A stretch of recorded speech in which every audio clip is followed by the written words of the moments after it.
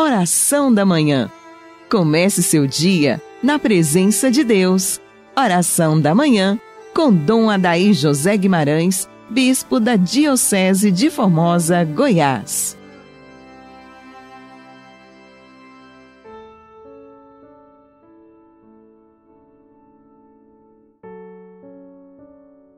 Santo anjo do Senhor, meu zeloso guardador, se a ti me confiou a piedade divina, sempre me rege e guarda, me governa e ilumina. Amém. Ó Deus, vida dos que creem em vós, glória dos humildes e felicidade dos justos, atendei com bondade as nossas preces e saciai sempre com vossa plenitude os que anseiam pelas riquezas que prometestes. Por Cristo, nosso Senhor. Amado ouvinte deste programa, iniciando nossa manhã de terça-feira, sob o olhar de Deus, na companhia dos santos anjos, desejo a você um dia de paz, um dia na luz. Somos chamados a viver a esperança, a profundidade da nossa fé e uma prática firme da caridade. Estamos em tempos sombrios, tempos de trevas, tempos de dificuldades, que para nós cristãos são desafios que vamos romper pelo dom da nossa fé, pois nós cremos na luz do ressuscitado.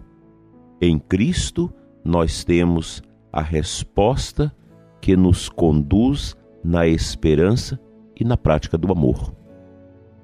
Não deixaremos que a nossa interioridade seja povoada pelas trevas, pelo medo, pela angústia, por tantos desafios que nós temos pela frente.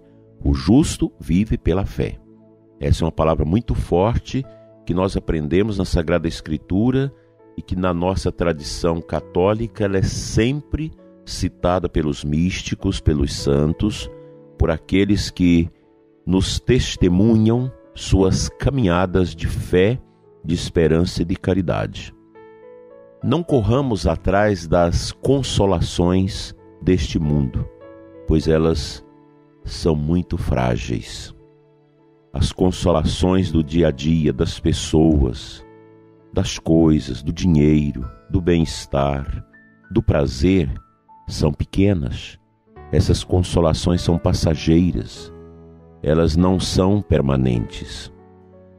Nós cremos na consolação que vem de Deus. Ele nos dá essa graça através do seu Espírito para que nós tenhamos realmente a maturidade interior para entender os sofrimentos, os desafios que batem à porta da nossa existência tenho escutado muitas histórias desafiadoras de pessoas que perderam praticamente tudo em razão dos lockdown, em razão das dificuldades econômicas que se abatem de maneira severa contra muitos setores da nossa sociedade. Tenho também escutado de pessoas que dizem que cresceram economicamente na crise. Então é a hora que nós precisamos que essas pessoas que em melhores condições cresceram, conseguiram melhorar seu nível empresarial, que se abram, como muitos estão fazendo, a essas grandes ajudas, a estas doações que precisam ser feitas para salvar vidas da fome.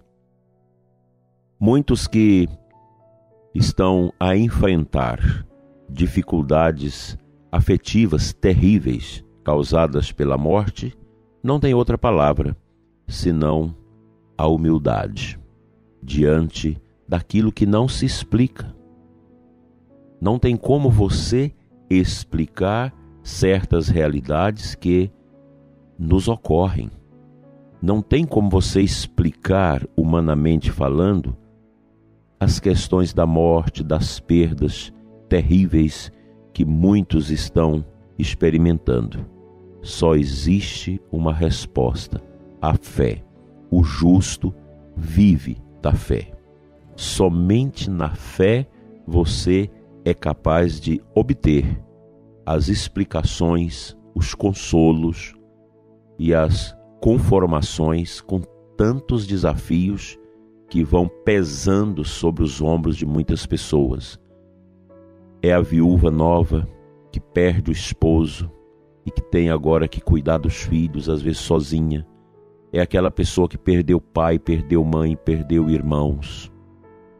É aquela pessoa que perdeu a empresa, que fechou, que sucumbiu sob as dificuldades. Olha, nestas horas, a gente precisa suplicar as luzes interiores do Deus Altíssimo para superarmos a provação. Não há por que perder a fé. A Deus está me castigando. Deus não olha por mim. Não é nesse caminho que nós devemos trilhar. É uma provação que não escolhe nem raça, nem cor, nem idade, nem situação social.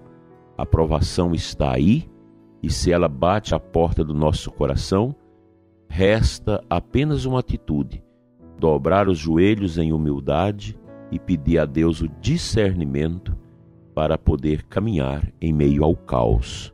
No meio do caos, pela fé, pois o justo vive da fé, nós vamos encontrar os trieiros, os caminhos necessários para alcançarmos a verdadeira luz que nos salva, que nos liberta e que nos garante a certeza de uma humildade que conhece que tudo neste mundo passa, somente Deus permanece.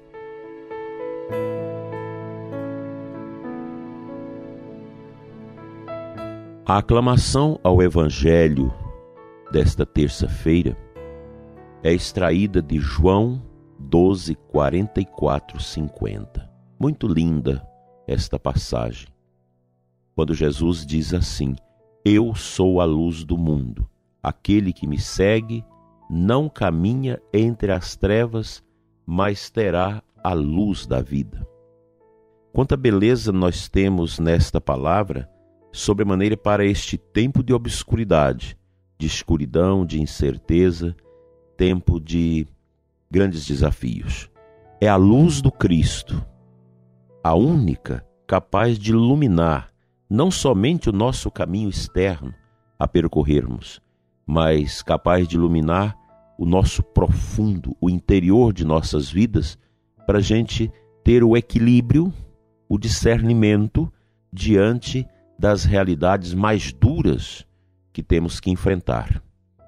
Deus não permite que uma provação na nossa vida seja além das nossas forças. Essa é uma verdade que nós conhecemos ao longo da nossa vida cristã. Nunca seremos provados além daquela força que nós temos para superar a provação. A vida é sempre marcada por provações.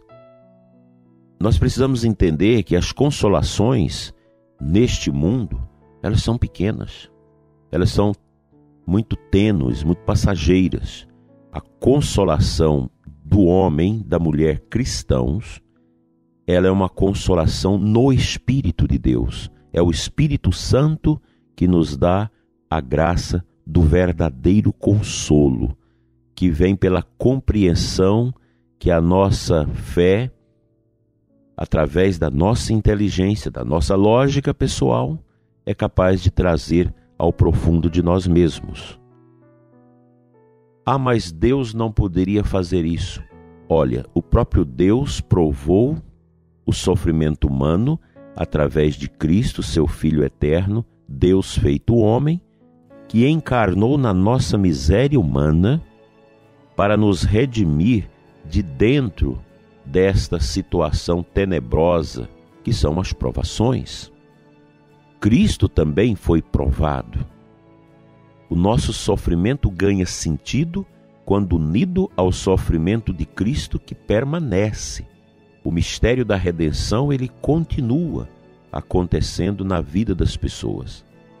Então, ao invés de mergulharmos na amargura, na reclamação, no desespero, nesta tristeza interior que causa depressão, tomemos posse da coroação de espinho de Cristo, da sua cruz, e entendamos que na dor, no sofrimento, nós vamos encontrar pela fé o caminho da nossa ressurreição, o caminho da luz.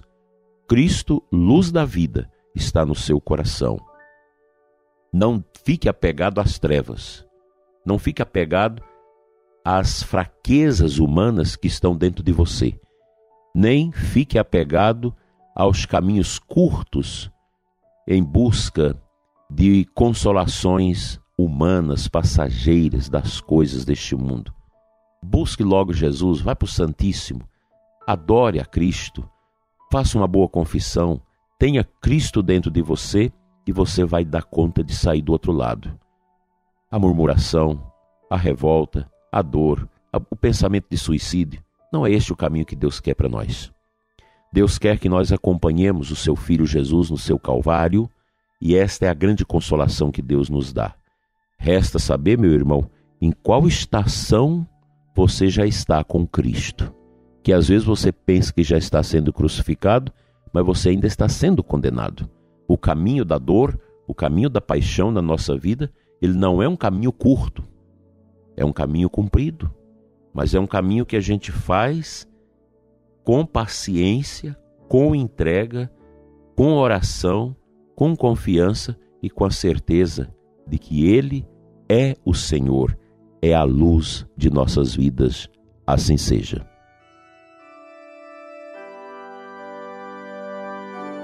Pai de bondade, Deus de amor, eu quero te entregar nesta manhã as pessoas que estão em desespero, em sofrimento, mergulhadas no medo, na tristeza, na desolação, na angústia. Pai, derrama sobre este coração a força, a luz do ressuscitado. Que o teu Espírito, Senhor, toque a alma, o profundo dessa pessoa que sofre, que necessita de amparo e de fortaleza que só o Senhor pode dar. Cura-lhe as chagas da amargura, da tristeza, dos pensamentos negativos e das reclamações. Abra, Senhor, os horizontes da luz, da luz espiritual, ao coração desta pessoa e de todas as outras que sofrem a tristeza que mata, que cega, que tira o objetivo da vida. Fica, Senhor, no coração de todos nós.